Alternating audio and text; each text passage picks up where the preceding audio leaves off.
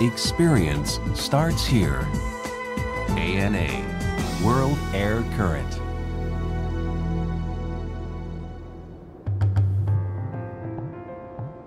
J-WAVE ANA ワールドエアカレントポッドキャスティング今回は4月4日放送シンガーソングライターのシャンティさんに伺ったロンドンのお話です印象的な海外っていうとストーンヘンジを挙げてくださいました、そうなんですよ。僕も最近、まあ、ずっと行きたかったストーンヘンジに、うん、あのまあロンドンからシャトルバスみたいな観光バスみたいなのに,、はい、に乗って行ったんですよ、ね、結構かかったでしょ。結構かかりました。そう。実際僕も行ったことないんですけど、うん、ロンドンからバスで行くとどれぐらいかかる3時間ぐらいかかったかな。う、ね,、わバスに乗って3時間ずいぶんでしょう、うん、でもねそのねバスのツアーガイドが面白いんですよ、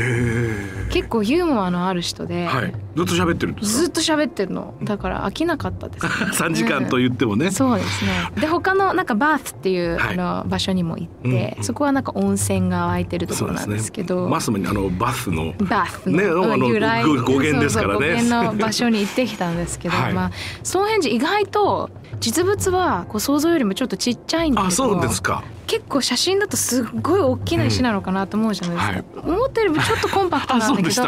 でもその周りがもう何もなくて、うん、ずっと緑の土地がバーって広がってて、うん、でなんかカラスとかが旋回してるんですよ。上でね。上で、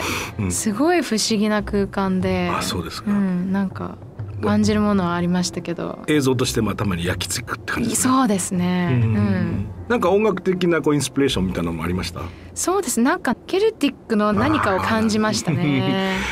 ま あ、まさにケルト文化って要するにねヨーロッパを縦にずっとこう貫いてますけど、はいはい、その一つですもんね、うん、何かそういうものを感じる。何か感じました。そのカラスがね カラスに好かれちゃったんですよ。何？それどういうこと？カラスになんかカラス旋回してたんですけど、はい、一応すごい近くに止まったんですよね、うん、でバス私一人で旅してたので、はい、なんで私このカラスなんでこんな近くにいるんだろうと思ってたら同じバスに乗ってた男の子が「はい、そのカラスは君のこと好きなんだよ」とか言って「そうなの?」とか言いながらカラスにちょっと喋りかけてたんですけど。何の話したんですか、うん、いやなんか 寒くないみたいな、うん、ちょっとなんか、うん、面白かった。ロンドン行くとどういうところに寄ったりするんですか？あの実はロンドン2度目で初めて行った時は3日しかいなかったんですよ、うん、だからあんまり見れなくてその時はブレッドベッあの BB ね。BB に泊まって、うん、いわゆる BB ってなんていうんだな？ベッドブレックファストってねそうそうまあそう朝ごはん付きの民宿みたいな民宿みたいそうそう、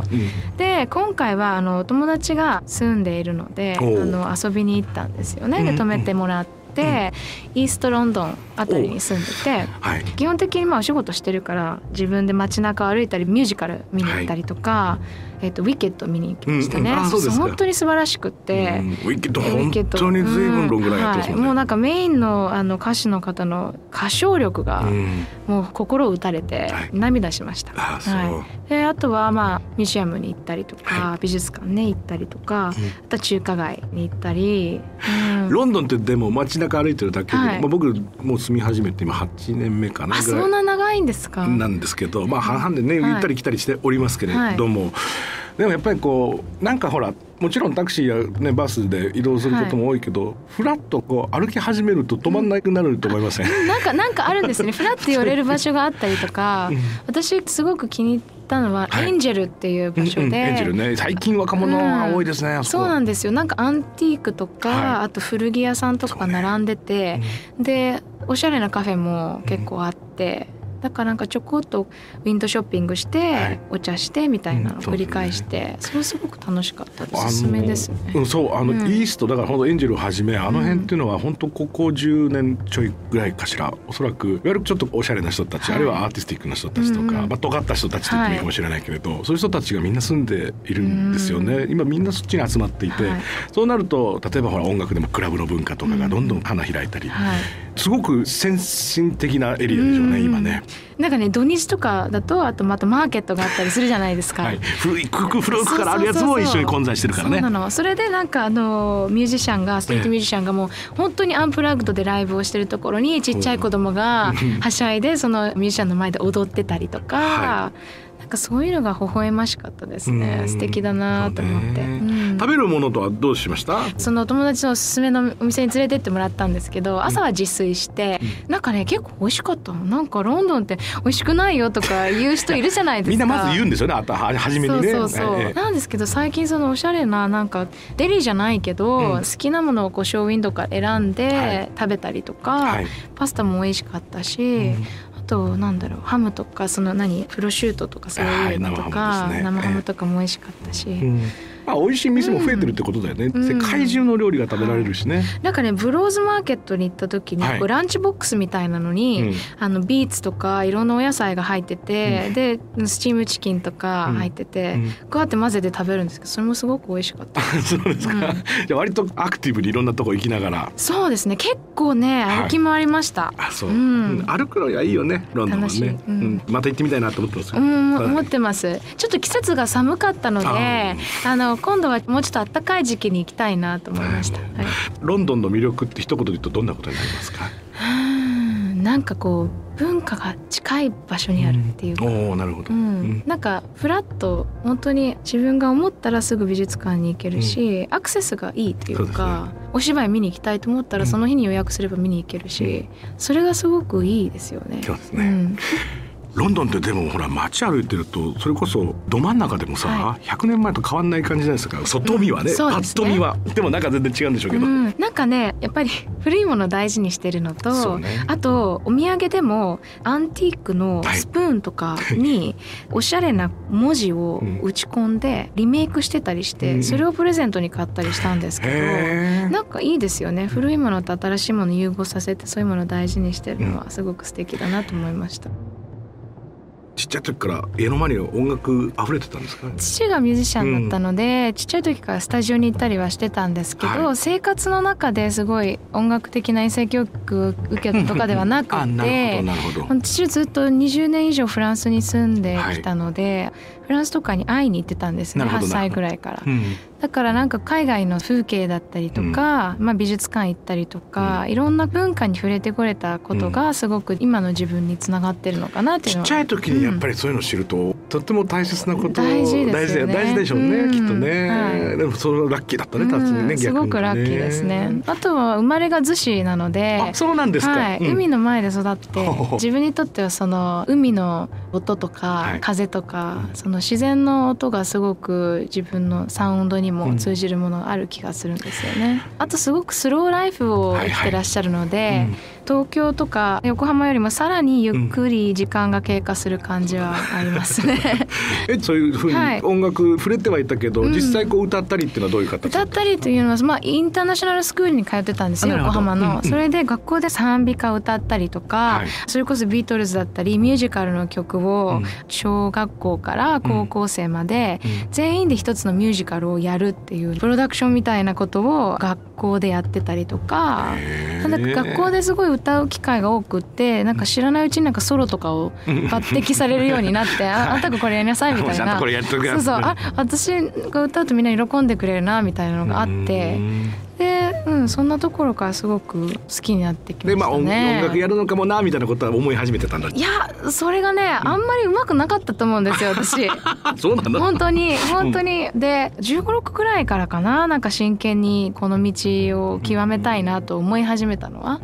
なんだかすごいちっちゃい時は割ともっと野生児であんまり何も考えてなくて。ただなんか物語を書くのとかは好きだったので、はい、それが多分歌詞を書くことにつながったりとか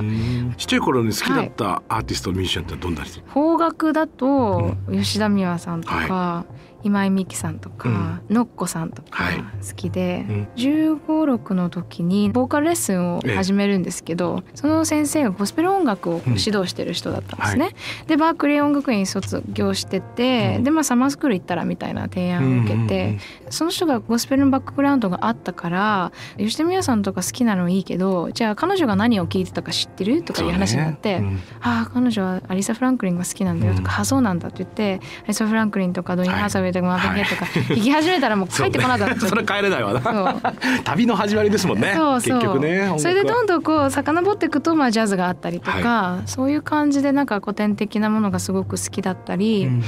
うん、でバークに行ったのが97年ですそうですね、もうひと夏だけなんですけど、大学も受けて高校卒業してから行こうと思ってたんですけど、はい、まあボストンかニューヨークかシアトル、はい、ワシントン。だけどなんか仕事をし始めてたので その時点で。そう。すでに、うん、なんかニューヨークに絞ったんですけど、はい、その先生がまあなんか急に病気で亡くなっちゃってもう受かってたのを断っちゃってたから、うん、すぐに大学に戻るのもあれだなと思って、じゃあちょっと仕事をしながら勉強しようと思って日本でスタジオミュージシャンをずっとやってました。なるほど、まあでもそんな中でこうキャリアつってきて、ご自身の歌も歌われるようになって、っていうことで、ね、でもその時にニューヨークに行ってたら今の人生はないだろうし、ね、ないですね。多分ねニューヨーク行ってたらミュージカルとかその演劇の方とかも入ってたかもしれないですね、なるほど、でバークリーに行った時ぐらいからですか？この作曲なんかにも。作詞はずっとしてたんですけど、はい、作曲はもうちょっと後かな、うん、18区ぐらいにその時の恩師がまあ長い活動をしていくならば、はい、自分で曲書かないとダメだよって言って。言われてああそうかと思って曲も書き始めようかなと思って、うん、バークリーでのその人なんつったらどんな経験しました、もうね刺激的だった？刺激的でした、まあ、まず夏休みの授業だけれどもちゃんと試験があるんですね、はい、入る時に、だからいろいろ準備してっていろんなバンドを組んだりとかね、うん、最後にパフォーマンスをするんですよね。5週間の最後に。はいで大きなステージでパフォーマンスしたりとか、うん、でいろんななんか先生がいてみんな違うことを言うんだけど、まあ音楽だからね。そうそうなの、はい、それが面白くってあの音楽理論だったりもっとその硬いことをすごく楽しく教えてくれたのがいい刺激でしたね。あいいね、うん、あとはね同じ志の若者がこんなにたくさんいるんだっていうことがすごく励みになったので、うん、本当にあ僕はすごいオーケストラの作曲家になるんだっていう人もいれば、弁護士をしながらシンガーになるのよっていうような人もいたりとかそれぞれすごいマイペースというか自分の道を持ってるなと思ってその中で私はどうしたいんだろうってすごいやっぱり思いましたね。うん。パリに行かれたのってのこれいつですか？パリも、そうなんですよ。毎年のように行ってたんですけど、はい、ロンドンに行ったからにはちょっとパリ寄らなきゃダメじゃないですか、それそうだ。電車で行けるので、はい、でパリ、まあ、父がいたので父に会いに行って、うん、久しぶりだったの？パリは。はい。これもまあ時期が寒かったんですけどセーヌ川沿いに写真展、うん、野外写真展があったんですよ。それが面白くて普通に歩いてたセーヌ川沿いを、ええ、でその方向に行くとあれなんか障害物があるなと思って、うん、そしたらそのまま大きな壁のようなパネルがいっぱいあってポートレート写真がいっぱい世界中の。でそこを縫ってその壁のようなものの間を縫って歩いて通り過ぎるみたいな。まあ見なくても通れるんだけど、うん、一番歩きやすいところにあるから そこまあ通れよっていうことなんだろうなと思って。パリらしいでもアイデアだね。すごく素敵じじゃないですか。素敵だね、うん、そのパネル大きいんですか？大きいんですよ。なるほどなるほどもう100号以上のサイズのパネルで、う。ん、で最後に自販機みたいなのがあって、その写真展の本を買えるの。自販機で。自販機でね。自販機で。すごいね、うん、面白い。パリは随分とまあ何度も行かれてるということですけれども、はい、エキスポにも出たの？あそうですね、うん、2011年のジャパンエキスポに出たんですけどあのずっとパリに行くことが多かったのでデビューしてから海外でライブをやりたいなってずっと思ってたんですよ、はい、でもやりたいのって言ってても誰も何もしてくれなくて これ自分で探すしかないなと思って探したんですよ、はい、このぐらいの箱だったらできるかなとか知らなくてもとかいろいろ下調べして、うん、でそこで出てきたのが、まあ、文化交流のサイトが出てきて、はい、あここだったらなんかできるのかなと思って当時のマネージャーに資料を送ってもらって、それでツアーが決まったんですよ。売り込んでいったわけだねそうですね。重発的に「待てない」とか言って、素晴らしい、ね、もう海外でやりたい待てないって言ってそれで最初はフランスだけでそのフランスの公演とジャパンエキスポ2つだったんですけど、せっかくだから他の国もそうだね。せっかく行くんだからね。でそれでドイツポルトガルスペインフランス回って。はい。ものすごく楽しかったです。なんかこうお客さんが自分のことを知らなくてもちゃんと集まってくれるっていうのが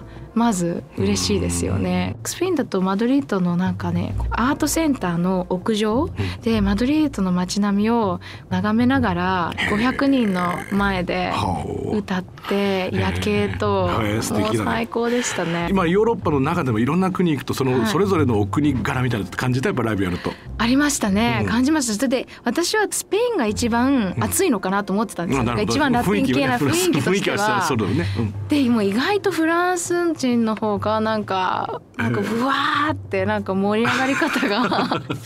なんかスタンディングオベーションだったりとか。素晴らしいね。はい、かったです。あとねドイツのね拍手はねすごいね、うん、雨のような拍手だった。拍手の音が違う。うん。感じが。すごい揃ってんの。ドイツっぽいね。そうケルンでコン。サートしたんですけど、はい、シャシャシャシャシャシャシャすごい揃ってるへえその後、まあ、ヨーロッパと北米でも CD がリリースされていますはい、あのオランダで、うん、あのレコーディングボーカルを入れ直したんですけどそれは素晴らしい経験でしたね、うん、なんか日本にいると、まあ、英語を話せるので、うん、英語で歌った時点でもう、まあ、それで今の歌でいいじゃないっていう感じになるんですけど、はい、オランダに行った時はもっと表現してもっと表現してってもう表現しきれないのにって思ってるのにもっともっとって言われてそれでなんか底力を聞き出されたような感じだったり、新しいピアニストとの出会いがあったりとかそれはすごく素敵でしたね。そうね、うん、楽器弾いててこれ以上に楽しいことあるかなって、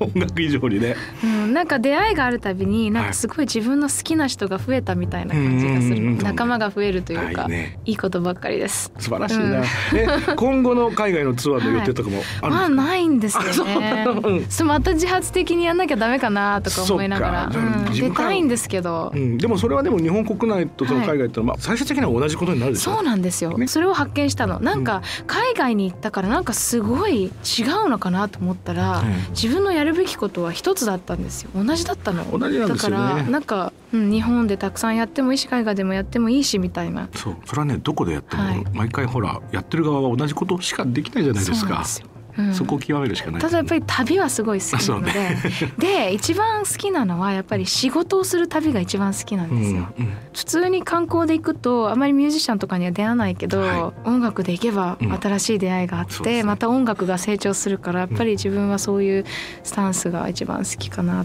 最後にこれも皆さんゲストの皆さんに伺ってるんですが、はい、シャンティにとっての旅っていうのはこれどんなものですか？旅、えー、人生を振り返る機会かな、うん、うん、それまでのね、はい、いつ行ってもそうだもんね。そうなんです、うん、ANA World Air Current